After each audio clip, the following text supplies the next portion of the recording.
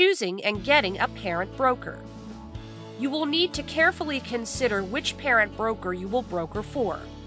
Working with a small brokerage firm may seem to give you more flexibility, but it actually limits your carrier base, as trucks and trucking companies are most likely to work with reputable brokerages in their credit rating.